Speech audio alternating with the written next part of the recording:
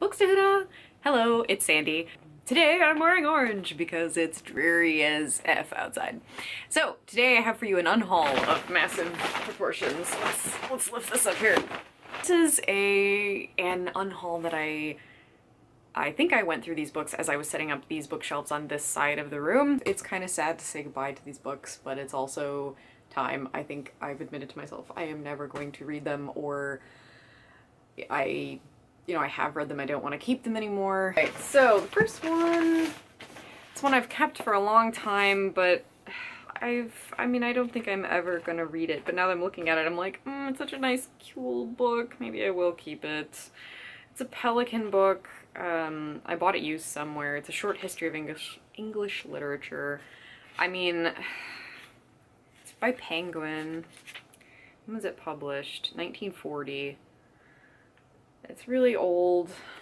I do this every time, but I think I'm gonna keep it because it's cool. So never mind. I'm rehauling. I'm keeping that. I was gonna get rid of the two Game of Thrones two and three. Maybe I should keep them though, because I'm never. I don't want to read book three. I haven't even started it. I'm never. I don't want to read these. No, be strong. I'm getting rid of them. I forced my way through a Clash of Kings. I only like watching the show, I don't really like reading the books. Goodbye Game of Thrones 2 and 3.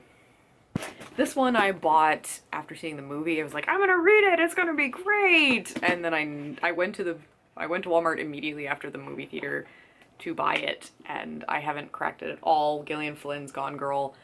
I really don't see myself ever reading it. I would just rather watch the movie again. So, perfectly brand new copy. Bye. Sampler of Viz manga.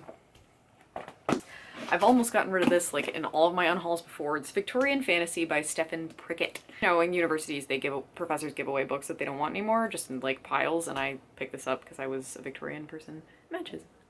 But I don't think I'm ever gonna read it. So why is that's the Jabberwocky on the front? Now I'm noticing that.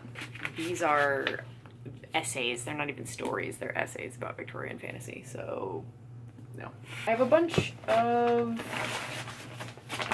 Dragonlance books I'm getting rid of, which I try. My brother got me these a long time ago and I feel kind of bad, but I don't think I'm ever going to get around to them. So I have this whole trilogy, the War of Souls books. Um, I just don't ever see myself ever reading them. That is followed by this one, Dragons of the Lost Star. Basically, I read Dragonlance for Raistlin, and these are Raistlinless books. So, so that trilogy. Another trilogy I'm gonna say goodbye to is the Hunger Games books. I don't think I'm ever gonna read these again because I would rather just watch the movies, honestly. The movies are better. The writing is really juvenile. So goodbye to those. I'm getting rid of this copy of the Shannara Chronicles that I got um, for free at BookCon last year because I have the I have a hardcover copy and those are easy to read. Um, and I don't really think I'm gonna I don't know that I'll ever read these anyway. So. Also from BookCon a freebie that I got, Da Vinci's Tiger. This was from Owl Crate. You spun a wheel and you got a freebie and uh, it's absolutely ridiculous first line. I beg your pardon, I am a mountain tiger. Enough said.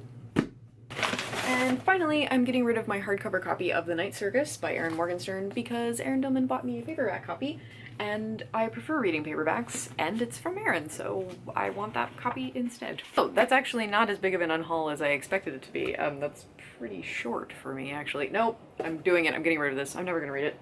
Putting it at the bottom so I don't ever see it. okay, so thank you very much for watching. I hope you have a great Monday or Tuesday, whatever day you're watching this. See you again soon. Books Happy May.